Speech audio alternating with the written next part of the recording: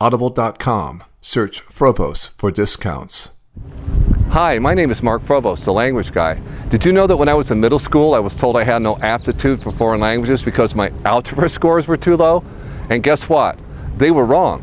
Spaliaron, se equivocaron, y se son trompés. Why? Because now I speak seven languages fluently, and I can teach you how to do it too.